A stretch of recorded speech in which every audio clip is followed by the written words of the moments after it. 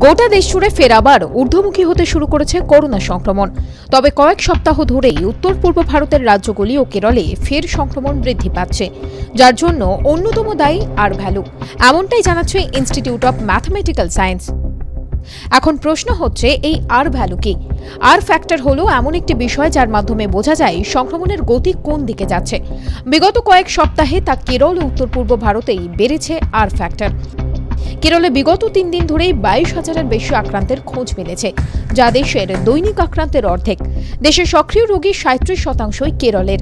দক্ষিণের রাজ্যগুলিতে বর্তমানে আর ভ্যালু এক দশমিক এক শতাংশ।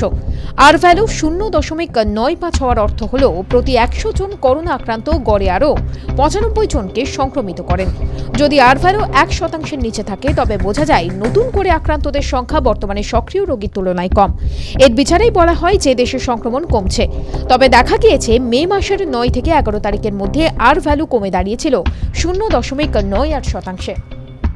এর বিচারে বলা যায় যে দেশে সংক্রমণ কমছে, তবে দেখা গিয়েছে মে মাসের নয় থেকে এগারো তারিখের মধ্যে আর ভ্যালু কমে দাঁড়িয়েছিল শূন্য দশমিক নয় আট শতাংশে।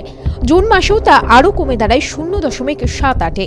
কিন্তু জুলাই শুরু থেকেই তা ফের বাড়তে শুরু করে এবং গত তিন থেকে বাইশে জুলাইয়ের মধ্যে তা শূন্য দশমিক নয় পাঁচে বেড়ে দাঁড়ায়। এদিকে কেরলে ব্যাপক হারে সংক্রমণ বৃদ্ধি পাওয়া ইতিমধ্যেই কেন্দ্রের তরফে একটি বিশেষ দল পাঠানো হয়েছে পরিস্থিতি খতিয়ে দেখার জন্য। অন্যদিকে কর্ণাটকেও বৃহস্পতিবার একলাপে সংক্রমণ বেড়েছে চৌত্রিশ শতাংশ। কেবল বেঙ্গালুরু থেকেই করোনা আক্রান্ত হয়েছে পাঁচশো পাঁচজন ব্যুরো রিপোর্ট, আরোহী নিউজ।